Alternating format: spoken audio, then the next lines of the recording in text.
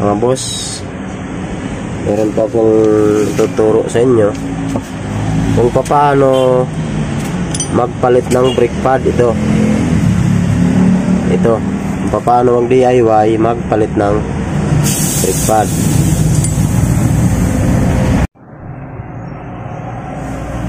Yan dito po sa likod meron po siyang bolt na Allen wrench 8 so ito po yung pananggal natin. Yan 8 hindi yata kita. Basta 8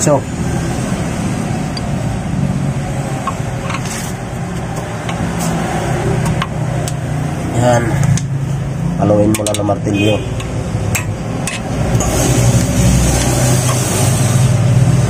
mabot pa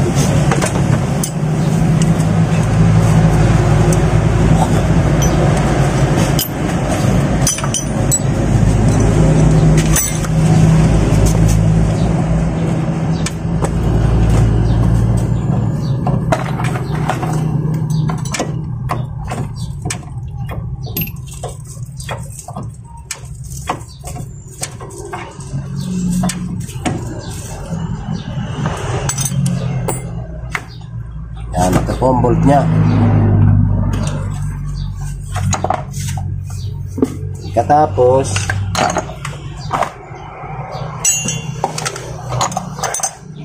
taas natin camera. So ito, luluwagan nyo lang ito.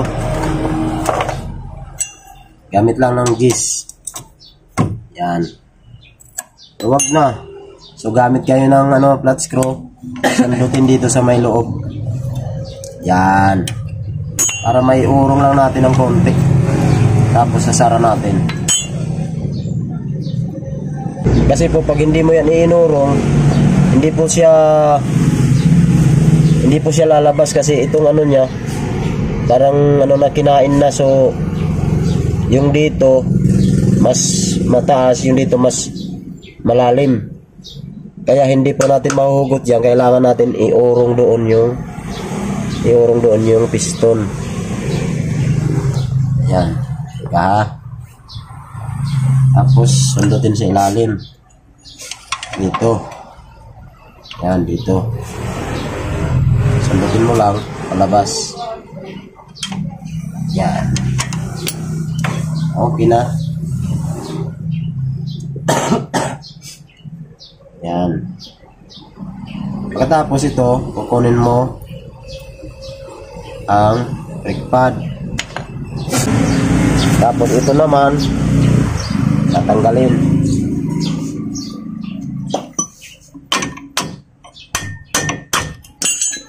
Yan, tanggal na. Pagamat ito po ay ano pa, makapal pa siya. Pero gusto po ng may-ari palitan kasi matagal na raw ito. Gusto niya palitan. Eh, papalitan natin dahil gusto gusto ng may-ari.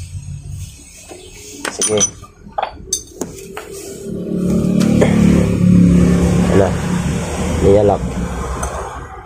So, yan. Ito pong ano niya, parang lock niya. Babalik lang natin.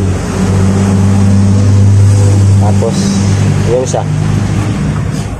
Ito pong walang ano, walang bukol. Ito pong walang bukol, doon yan sa ilalim. Tapos ito namang may bukol.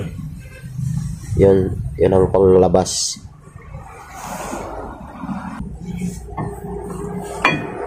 Kailangan rin po itong parang piston na ito. Kailangan po siya itulak papunta doon sa loob kasi bago po yung mga brake pad natin makakapal. So kailangan siyang iurong papunta doon. Kasi pag hindi mo yan inurong, hindi po siya kakasya pag binalik mo na ng ganyan. So, dahil wala po tayong ano, tawag nito, wala po tayong pump puller. So, ito na lang gagawin natin. Luwagan lang natin itong glider. Yan. Pagkatapos, teka, itutulak lang natin dito. Ito po, niluwagan na natin ito. Yung blader. So, itutulak natin. Kadian handle natin man. Gamitan lang natin ng ano, ng tulak. Yan.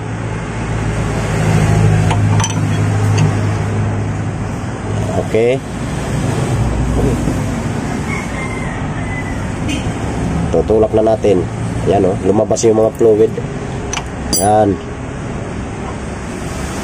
Kumbaga, ano lang natin, sa waray-waray, liligwatan. Ano sa Tagalog, ligwat? Basta po sa sa waray-waray, ah, liligwatan. Yan.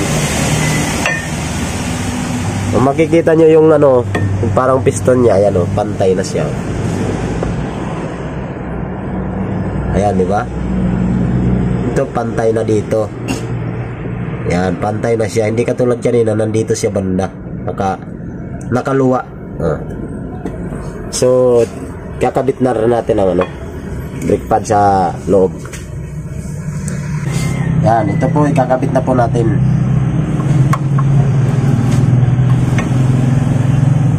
Yan. Bago na. Ito pong isa, dito po yan sa ano, kung pagka naka ganyan, yan, dyan po yan siya. So, kakabit natin.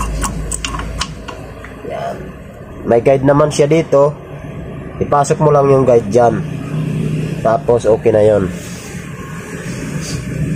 Tapos, ikakabit na natin.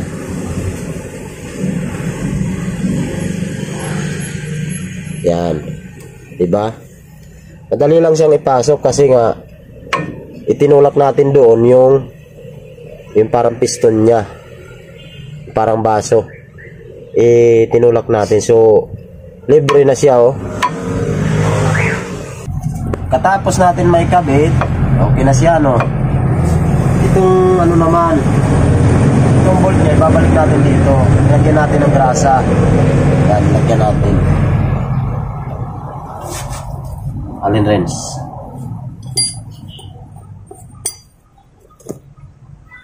Yan, kita na natin. Allen wrench ito eh.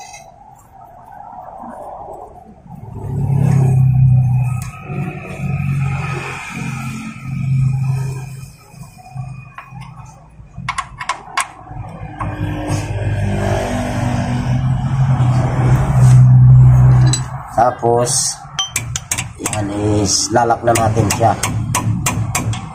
Yan. Ganyan ang pag ano nito, pag play nito. So dahil ito ay tinanggal natin dahil ito po ay ating tinanggal kanina so magbe-bleed tayo. Bibleed na lang natin ito. Madali lang ang pag-bleed, pwede mong buksan lang, tutulo na yon. Pero dahil ito po ay ginagawa ko pa ang brake nito sa brake master, mayroon pa akong ginawa doon. Kaya hindi po siya wala pong ano, wala pong fluid na lumalabas. Kasi nga ginagawa ko pa yung brake master. So ang ano niyo na lang nito, bi-bleeding niyo dito. Buksan niyo tapos i-bleeding. Pero sa ngayon, ganyan lang muna yan. Kasi meron pa akong ginagawa doon sa taas. So, ganun lang mga boss. Ganun lang magpalit nito ng brake pad. Napakadali lang. Kaya nyo mag, kaya nyo lang itong DIY. Yung mga ganito, eh, mga ano lang naman ito, madali lang naman magpalit ng brake pad. Sa mga bago ko pong mga viewers, uh, pag-subscribe na lang po. Maraming salamat.